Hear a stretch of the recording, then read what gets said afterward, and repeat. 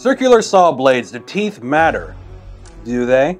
Today we're going to discuss the realm of circular saw blades and explore the different types of their respective purposes. We'll unravel the top circular saw blades and find our answer. First up, we're going to talk about the different types of teeth or blades. The FTG, flat top grind, is designed for ripping with the grain, making faster and cleaner cuts like a hot knife through butter. While the ATB, which is alternate top bevel, features angled tops forming points on either side, ideal for cross cuts and gain crossing maneuvers. The ATBR alternate top bevel and raker is similar to the ATB, but every fifth tooth is ground flat. That's also known as the combo blades. They're like the Swiss Army knives of the saw blade world, easily handling, ripping, and cross-cutting. Lastly, the TCG triple chip grind. All of the teeth are ground flat, with every other tooth having corners knocked off. This blade is suitable for dense materials like melamine, plastics, brass, and aluminum. But it's not just teeth that matter. Choosing the right kerf for your circular saw blade can make all the difference in your woodworking game. The kerf, or the width of the cut made by the blade, is a key factor for your cutting performance. A thin kerf blade is your best friend for cuts with minimal waste. It zips through materials with less power, making it perfect for fine woodworking and saving the expense on materials. Just be mindful that these slender blades can flex a bit, which might lead to rough cuts and harder woods. Now if you're gearing up for some heavy duty action, a thicker blade kerf blade is your go-to. These blades are rock solid, providing the stability needed to slice through hard or thick materials without bending. They're built to last and handle tough jobs like a pro dissipating heat to keep everything running smoothly. The trade-off, they consume more power, typically a little more expensive, and create more waste. But they got the job done when you need maximum durability and strength. So,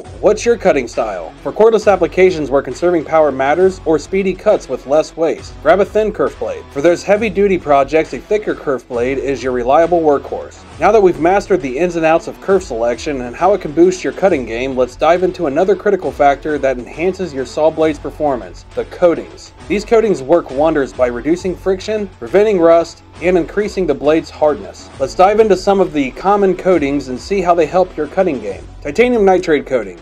This gold color coating isn't just for looks. It makes the blade tougher, resisting wear and tear so it lasts longer. The reduced friction means smoother cuts with less heat buildup, and the corrosion resistance keeps the blade rust free. Teflon coating. While it might look like paint, red for Diablo, white for Milwaukee, Teflon does much more. Its non-stick properties mean less friction, preventing resin and sap from gumming up the blade. This also helps the blade stay cooler during use, preventing warping and ensuring it stays sharp and reliable. With these coatings, your circular saw blades don't just cut, they cut better, longer, and with less hassle. Alright, let's talk shop. So you got your trusty 24 30 tooth FTG blade, right? It's like the muscle car of saw blades, built for one thing and one thing only, tearing through thick wood like nobody's business. With fewer teeth and a flat grind, it's all about the aggressive cutting action, making those tough jobs a breeze. Now let me introduce you to the 40 50 tooth combo general purpose blade. This bad boy is the ultimate multitasker in the workshop, the jack of all trades if you will. Need those finished quality rip cuts? This blade's got you covered, slicing through wood with precision that'll make a surgeon jealous. It's like the scalpel of woodworking leaving behind clean, polished edges with minimal sanding required. And don't even get me started on its everyday cross-cutting game, handling everything from basic frames to intricate structures with finesse. It's the blade you didn't know you needed until now. The 6080 tooth ATB blade is your precision tool for flawless cross cuts and plywood projects. With its high tooth count and alternate top bevel design, it's tailored for intricate work, ensuring clean and accurate cuts. Whether it's delicate plywood or demanding precision crosscuts, this blade delivers impeccable results with minimal touch-ups needed. From intricate joinery to cabinetry, it elevates your craftsmanship, making it the go-to choice for precision work in woodworking. Hey, come close because we're going to tell you a little secret.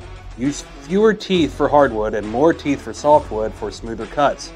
But shh, don't tell anyone else that. Alright, let's talk hook angles, shall we?